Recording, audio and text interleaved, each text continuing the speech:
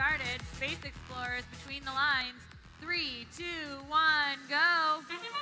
Here we go with qualification match 56 on the Carver field.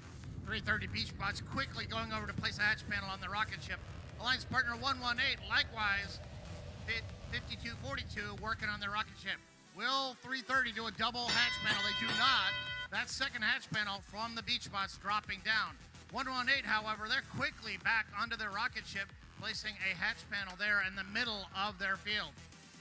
4561 TerrorBytes, they're sponsored by Solera Automation. They put cargo into their cargo ship. During this match, it looked like both of the alliances opted to put all null hatch panels. They have those white lines on it.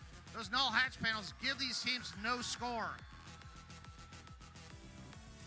Stormbots from Vancouver, Washington, sponsored by the Boeing Company, now back playing defense.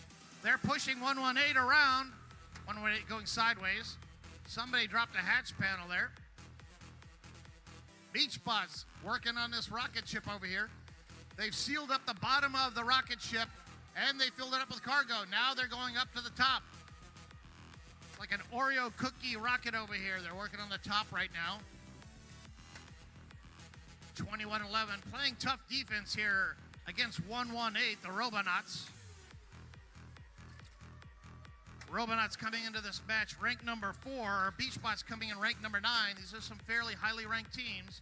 They want to win to maintain that status. 60 seconds left. Red Alliance has a big lead here, 55 to 33.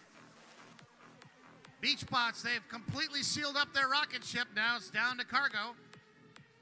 They have two more cargo and they will get another ranking point.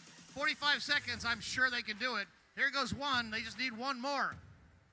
28 11, still playing tough defense on the far side. Here we go. 330, one complete rocket ship. Light it up, please. Red rocket ship lit up. Now, Beach Bots, now they have to go to a different. Uh oh.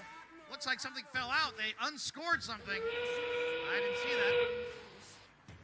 One ranking point gone. They're going to try to get it back. They have to get a, a uh, cargo back into it. Can they do it? Now they get it. Eight seconds left. Red Lights has a big lead. 28-11. Stormbots from Vancouver, Washington doing a... Oh, no! 28-11 is back on their side, and they prevent their alliance partner, 45-61, from getting up. They, uh, 45-61 is clearly winning this one, 89 to 57. Red Alliance getting a unicorn match. They